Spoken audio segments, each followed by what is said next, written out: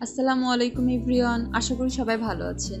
বাসায় খুব সহজে কীভাবে মেয়নিজ তৈরি করে নিতে পারেন, সেই রেসিপিটি আজকে আপনাদের সাথে আমি শেয়ার করব। তো এর জন্য যা লাগছে রুম টেম্পারেচারের দুটো ডিমের কুসুম নিয়ে নিয়েছি। আরও লাগছে half teaspoon salt one teaspoon sugar half tablespoon lemon mustard seed নিয়ে নিয়েছি পেস্ট করে ওয়ান টেবিল স্পুন এবং অয়েল নিয়ে নিয়েছি হাফ কাপ তো আমরা এক দুটোকে এখন হালকা বিট করে নিব। বিট করার পর বাকি যে ইনগ্রিডিয়েন্টসগুলো সেগুলো আমরা দিয়ে দিব। তবে এই ক্ষেত্রে এখনই আমরা যে অয়েলটা নিয়েছি সেটা আমরা মিক্স করব না।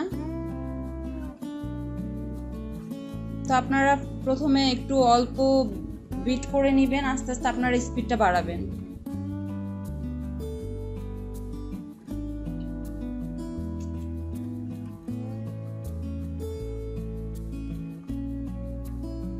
তো এখন অয়েল আমরা অল্প অল্প করে মিক্স করব। পুরোটা মিক্স করতে যাবেন না একসাথে, সেক্ষেত্রে এটার ফোমি ভাবটাও আসবে না ভালো এবং এটার টেস্টটাও বেটার হবে না। তো এভাবে অল্প অল্প করে দিয়ে বেশ কয়েকবার এই প্রসেসটা চালিয়ে আমরা এটাকে কমপ্লিট করে নিব। যতক্ষণ না পর্যন্ত ফোমি ভাব আসে, ততক্ষণ পর্যন্ত আমরা এটাকে বিট করতে থাকব।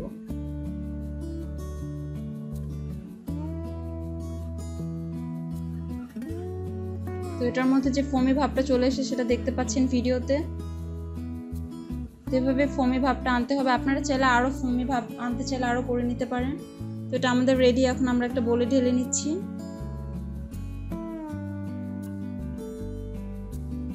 এটাকে আরও টেস্ট বেটার করার জন্য আপনারা এখানে কিছু অরিগানো দিতে পারেন, এটা একদমই অপশনাল এটা এটা টেস্টটাকে আরও বেটার করবে এবং এগের যে একটা গন্ধ থাকে, সেটা যদি আপনারা অপছন্দ করেন বা ভালো না লাগে, সেক্ষেত্রে এটার গন্ধটাও চলে যাবে এবং এক্সট্রা একটা ফ্লেভার অ্যাড হবে। তো আমরা কিছুটা অরিগানো ছিটিয়ে নিচ্ছি এবং ভালোভাবে এটাকে মিক্স করে নিব।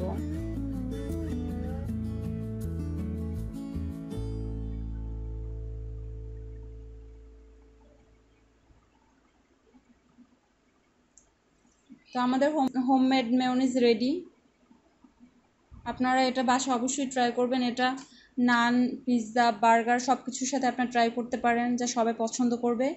তো ভালো লাগলে রেসিপিটা অবশ্যই আমাদের চ্যানেলটিকে সাবস্ক্রাইব করবেন। ধন্যবাদ সবাইকে।